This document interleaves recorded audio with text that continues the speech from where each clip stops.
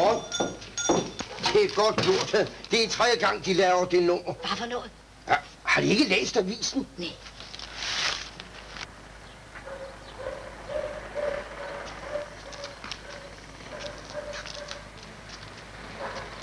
Undskyld, det drejer sig om 34 øre, som jeg lige står og mangler til natlogi. Hvorfor er det altid 34 eller 29 øre, I mangler? Tag hensyn. Øh, 100 tak. 100 tak.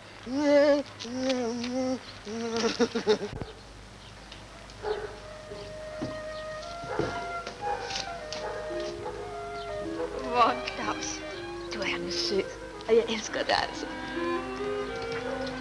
Godmorgen. Godmorgen. Godmorgen.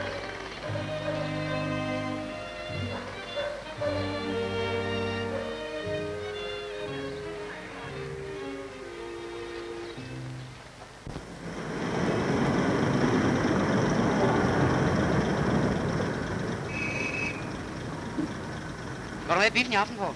Nej. Hvorfor ikke du? Der går dobbeltprogram. Pigen med det røde hjerte og manden bag den sorte maske. Det er krejs, kan du tro. Jeg har ikke tid. Hvorfor ikke? Jeg skal i fridom. Hvad skal du?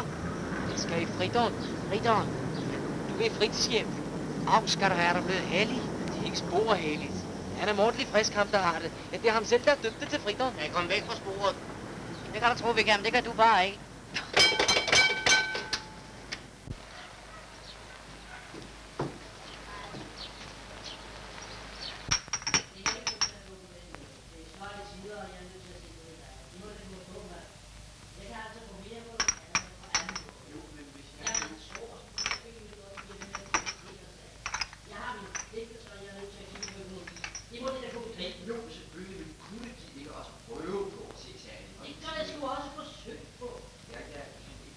Jamen, det er sgu ikke, fordi jeg har noget mod dem personligt, Thorsen. Det ved de nok.